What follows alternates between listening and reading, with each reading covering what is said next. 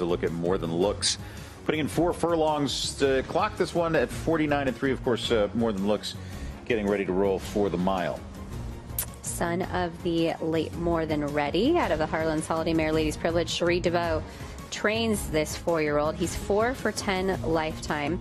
Uh, winner of the Grade 3 Manila at the one mile distance at Belmont. He was second to Carl Spackler in the turf mile at Keeneland back on October 5th. A gallant second at that, only defeated a length rallying from off the pace when Carl Spackler showed all the way around there on the front end. And we're working on the main track, it looks like, pretty early in the morning. Yeah, I mean, he's faced Carl Spackler three times and couldn't get by him, but his best effort against that horse was the last time at the race you referenced. I think he's getting better.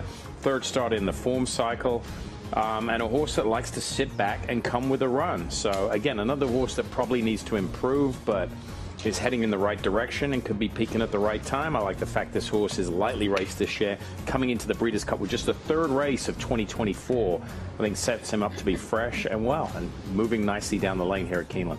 I think sometimes when you're talking about a track like Del Mar and that short stretch, and we've discussed how the riders that have that real familiarity with it here, or those that can cut a corner, save a little ground, be in a tactical position when you turn for home. You look at a horse like this who was only beaten a length by Carl Spackler. That length could be made up in a good trip. Now you do have other horses and Europeans to work out, you know, but if he does look like Carl Spackler is better on paper, trip here at Del Mar can account for that difference. How many times have we shown the drone footage in the studio this summer at Del Mar? Overhead shots, horses getting an inside trip and outside trip, horses winning and losing by a neck or a head.